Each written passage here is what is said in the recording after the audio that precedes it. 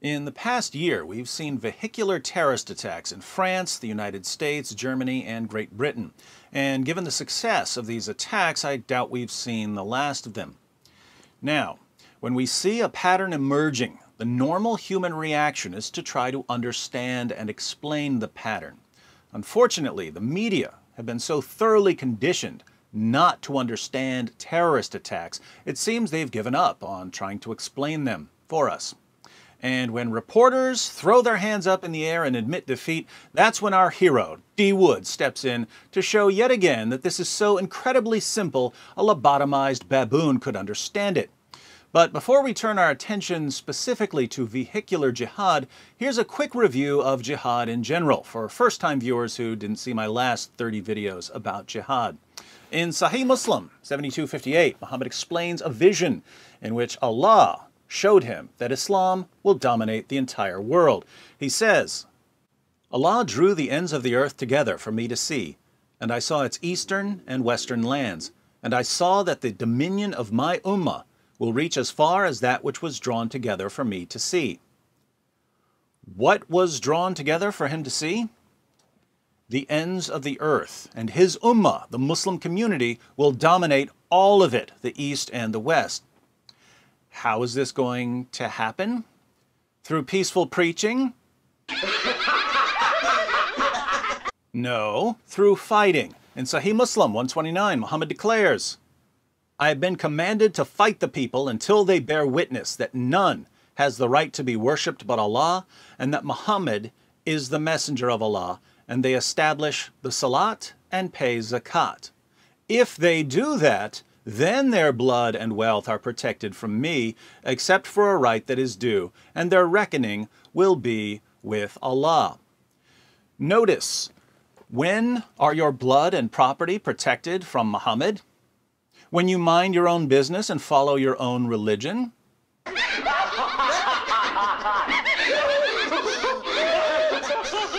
No, when you become an obedient Muslim, not before.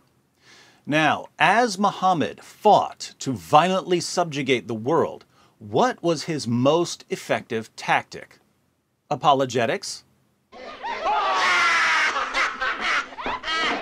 No, terror. In Sahih al-Bukhari 2977, Muhammad proclaims, I have been made victorious with terror. Terror is the favorite tactic of the founder of Islam. It is wrong to describe this as Islamic terrorism. It is Islamist terrorism. It is a perversion of a great faith. Congratulations, Great Britain. You've managed to elect a government that's utterly incapable of reading words off a page. But David, if Muhammad promoted terrorism, why are there so many peaceful Muslims? Thank you for asking a question that I've answered hundreds of times. The assumption that underlies this question is that if a religion commands something, all or most of the adherents of this religion will obey the command. And this is total nonsense. In Matthew 5, verse 48, Jesus commands Christians to be perfect. Not one single Christian has ever obeyed this command. And yet, Christians not obeying the command has absolutely nothing to do with whether Jesus commanded it. Likewise, Islam commands its adherents to violently subjugate non-Muslims. There are, of course, millions of Muslims who have no intention of ever obeying this command. And yet, Muslims not obeying the command has absolutely nothing to do with whether Allah and Muhammad commanded it. The real question here is why some Muslims obey Allah and Muhammad while other Muslims don't. As I pointed out in my video, The Jihad Triangle, Jihad isn't simply the product of belief in Islam. Jihad also requires a Muslim to know what Islam teaches about jihad, many Muslims don't, and to have a certain personality type, the personality of someone who does what he's told, even if it's going to cost him his life. Many people aren't like this. But some are. When all three features are combined, when a person believes in Islam, knows what Islam commands about jihad, and has the requisite personality type, we get a jihadi.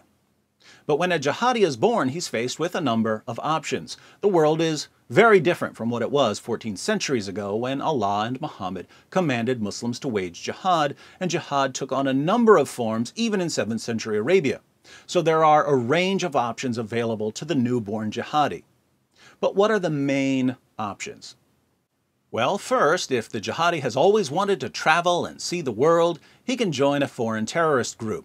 If he decides to go this route, he's faced with a further decision, namely, which group do I join? Do I join Al Qaeda or ISIS or Al Shabaab or the Taliban or some other group? Second, the jihadi might decide to wage jihad in his own country. And here he'll face the further decision of how to go about this. Do I learn to build bombs, or try to get a bomb from someone else, or get some guns or knives, or get in a car or truck and drive it into a crowd of people? Now, the options open to the domestic jihadi vary in two important ways.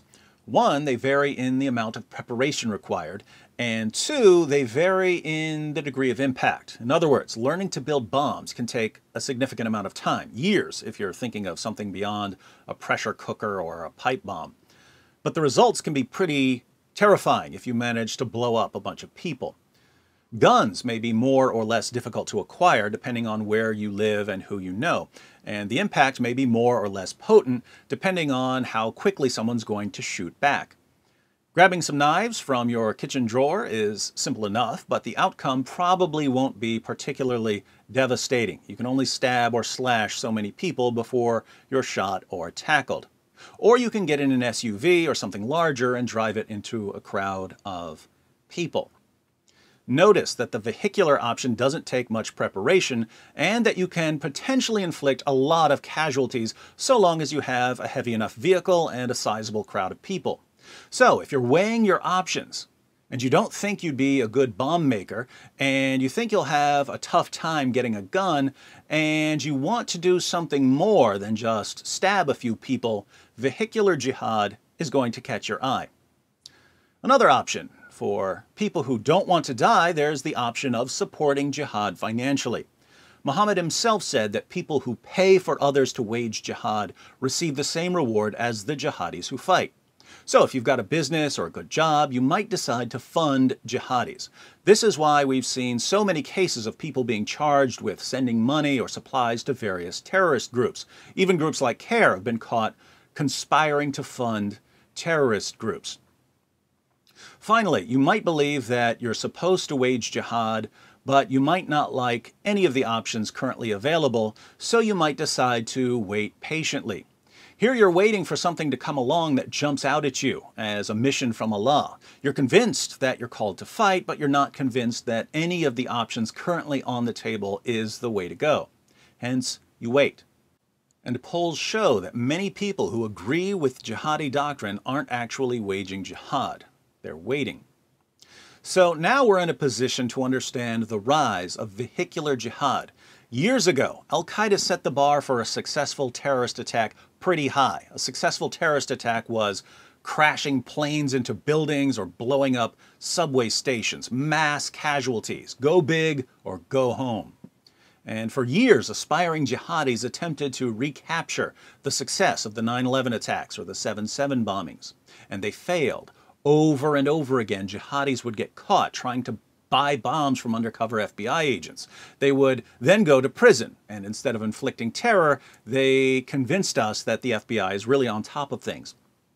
Eventually, a few jihadis concluded that successful small scale attacks would be better than failed large scale attacks. So instead of plotting to blow up a building, they would grab a knife or an axe or a gun or a small pressure cooker bomb and go stab or hack or shoot or blow up a few people in the name of Allah.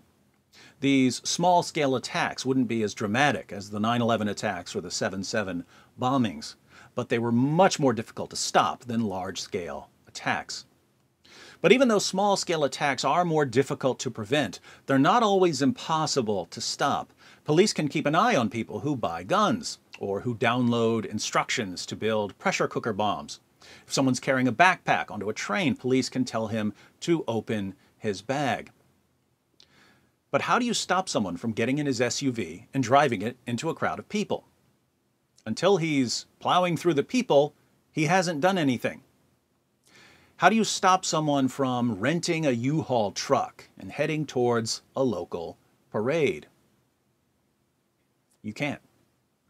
And jihadis are now recognizing that for those of them who don't want to join a foreign terrorist group and don't want to support jihad financially and don't want to wait indefinitely and don't have access to bombs or guns and would like to do something more spectacular than stab someone, the best rewards to risk ratio is vehicular jihad.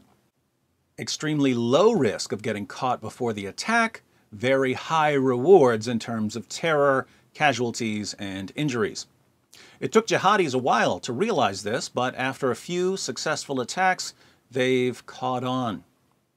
Now, there are really only two things you can do to deal with jihad. You can refute the ideology that leads to the attacks, or you can try to minimize or prevent the attacks once they're in motion. Our leaders have done less than nothing when it comes to refuting the ideology of jihadis. I say less than nothing because nothing would have been keeping their mouths shut. They haven't kept their mouths shut. Instead, they've defended and promoted Muhammad and the Quran, the sources of jihadi doctrine. So the ideology of jihadis has spread. That leaves our leaders with the task of preventing individual attacks and trying to minimize the damage of attacks they can't prevent. Improvements in security and surveillance have been remarkably successful in preventing most large-scale attacks, but this has pushed jihadis towards small-scale attacks. Given the options available to small-scale jihadis who don't have access to guns, vehicular jihad is just as easy as a knife attack, but far more deadly. And that's why we're going to be seeing more of these attacks. So stay alert when you're in a crowded area and learn to refute Islam so that future generations don't have to depend on politicians to keep them safe from Muhammad's teachings.